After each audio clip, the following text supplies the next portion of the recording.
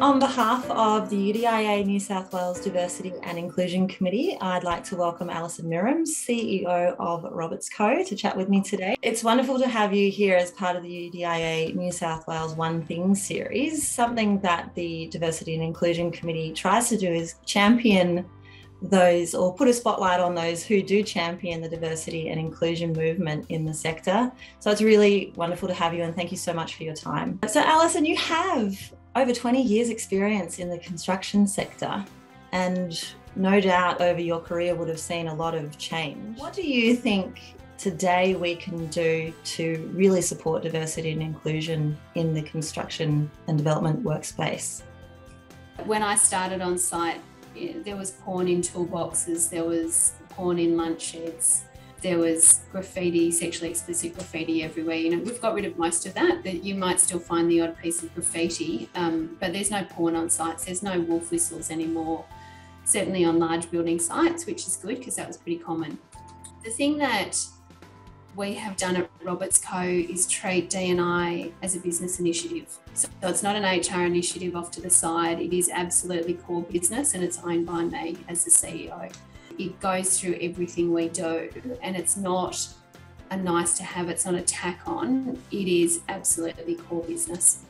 There's a lot of research that says that if you have I think it's over 30% women in your organisation, you produce more profit. Now, if I went to an organisation and said, I have the key for you of how to make more profit, everyone would want to know what it is. It's pretty mm. simple have a diverse workforce. So at that point in time, it is a business initiative because you do want, everyone does want the best company. Um, yeah. And so this is just about creating the best company we can. So, how has diversity and inclusion impacted your career and your work life? look, early on, I felt it. You know, I was the only girl on site. Uh, was me and the site secretary on most sites. If I was in a meeting with subcontractors, because I started my career on sites, I spent eight years on construction sites. Uh, if I asked a question, they answered to the guy next to me, and I'd ask a question and they'd answer the guy next to me. And eventually, if I asked enough questions, I kind of figured, well, she's not that dumb. She knows something, uh, mm-hmm. and they'd start talking to me. So it was that real challenge of I'm not just a little girl. Uh, and I am little in stature. So, you know, I always got called that little girl. Initially, you felt like you had to prove what you knew. Once you got to that point and you became accepted, then it was a very different um, scenario. So, I am acutely aware of what I went through to make sure other women don't go through that and that we've got a better industry for them to come into. I actually had a meeting probably five years ago, we had an incident on one of our projects, and I got called down to present to uh, a brigadier in the Defence Forces. And I had the meeting, and for half an hour, he asked me a question and he only looked at me for the answer. And because I was the most senior person in the room, and defence is, is very hierarchical. Mm. And I walked out and I said to the two guys with me, that was amazing. I have never ever experienced that in 20 years. And they looked at me and they said, What? What happened? They, they hadn't registered what was going on. But for me, I had never, ever experienced it 20 years in the industry where I was asked the question, it was only me to answer. Um, it mm. was quite a refreshing situation to be in, and it was very respectful from the people that I was being interviewed by. You've obviously created a career for yourself and you're in a position of, of seniority and leadership, and along the way would have had a lot of leaders influencing you. What's the single biggest lesson you have learned about leadership itself? For me, I have a very um, personal view on leadership that you need to look after your people. You, it's not about um, being the aggressive alpha male to phrase it to, to coin a phrase mm-hmm. um, i care about my people and i genuinely care about them and um, some people say to me what's the thing that you're most proud of in your career and it was when one of our apprentices had a tragic accident at home and, and became quadriplegic and we we got him back to work we got him back to work he was an apprentice he couldn't be an apprentice anymore um, I went and saw him in hospital, and the spinal unit in a hospital is the saddest place you will ever go to. Mm. Um, and I said to him, mate, you've got a job. Doesn't matter. You've got a job. You just get better. We'll, we'll employ you. And we raised a whole lot of money. We fixed his house. Um, we created a trust for him, and we got him back to work. And you know that I, I didn't do it for the outcome of what our staff would think. I did it because I genuinely cared about this young man and his family, and I couldn't imagine being 25 and having that predicament. What the staff saw was that the company genuinely cared. The mm. staff turned around and said, Oh my God, this is amazing. This company's incredible. They care so much. Um, and so I really care about our people. And if you can look after your people, they're your only asset, really. Um, they they give it back to you in spades. You know, they're incredibly loyal and and hardworking for you. So just for me, it's just be genuine and care about your people. You've got to be game to be vulnerable. And a lot of people think it's that I can't say I don't know. I say to our staff all the time, I don't know. I need to sleep on it. I, I, I don't know. I don't know what I don't know.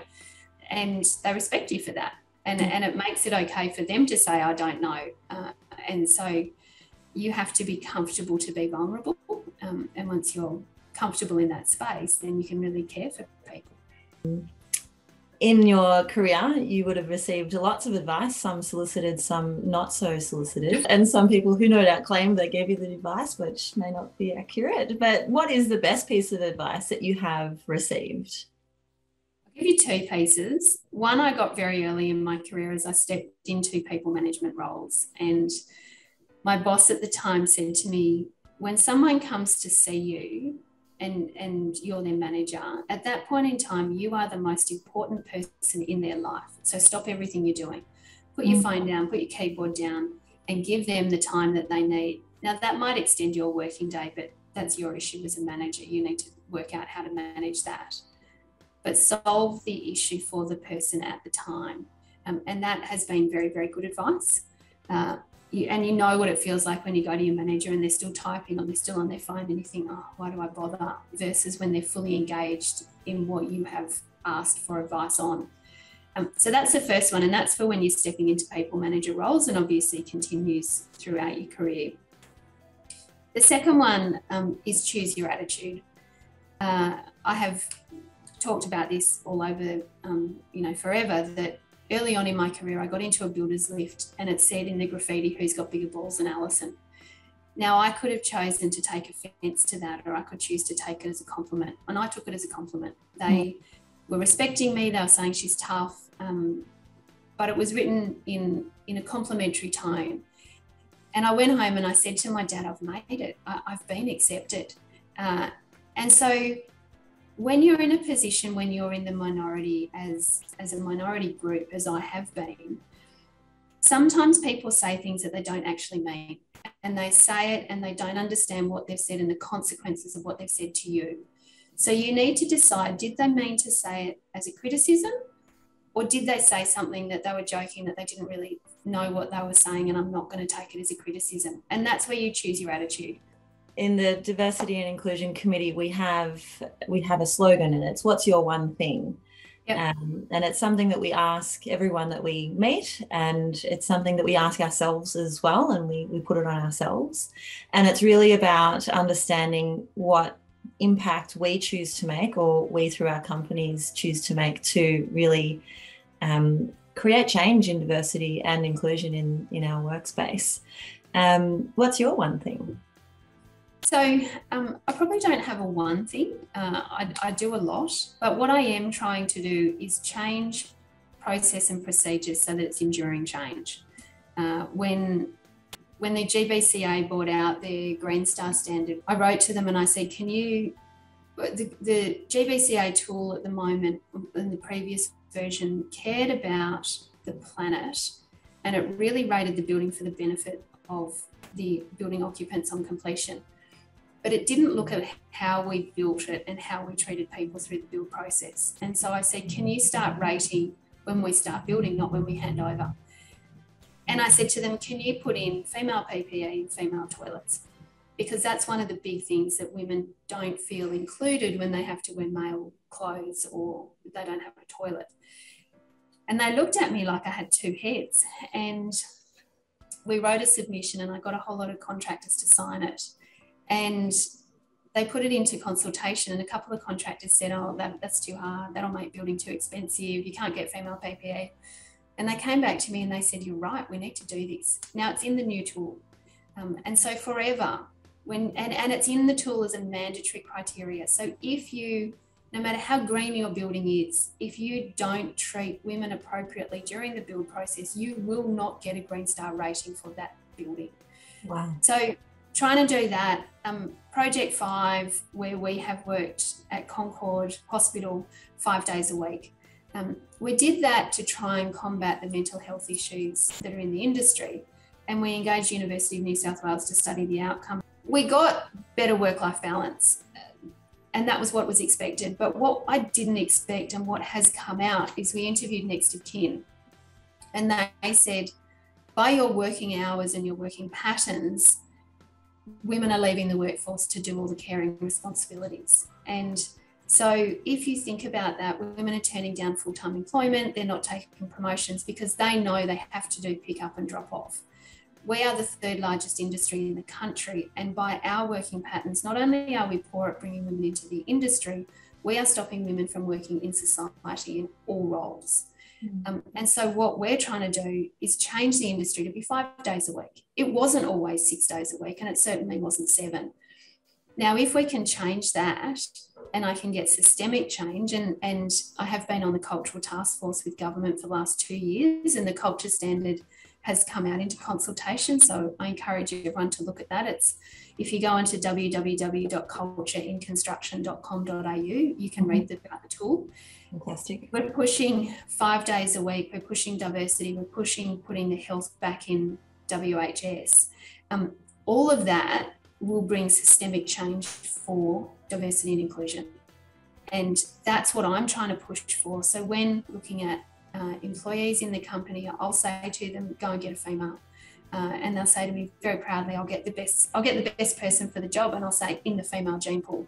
And when you've exhausted the female gene pool, you can go to the male gene pool, but try first. And every time they come back with an outstanding uh, female, where I can, I am trying to push really systemic change that at the end of the day, when I retire, it's there, it's forever, and it's not, no one will have to fight again. And, and I don't mean you'll never have to fight for anything, of course you will, but where I can, it's not about me here and now, it's about generations that come behind. Um, so that's what we're trying to do. Your foresight is absolutely incredible, Alison, and and the depth of thinking that you have is very refreshing and, and inspiring. So thank you thank so you. much for everything that you do for women in the industry and not just women, but for every person in the industry in so many different ways, as you've outlined. And, and, and I think that's a really good point to say. When what we have discovered in Project Five is that it's not a female issue, it's a people issue. Mm. We need to actually get dads home so that women can have a career. So we actually need to fix the industry for men to get more women into it. it, it yeah. it's, a, it, it's a people issue, it's not a female issue we will absolutely share your story and and we're very very grateful for everything that you do. So thank you. Oh thank you. It's an absolute pleasure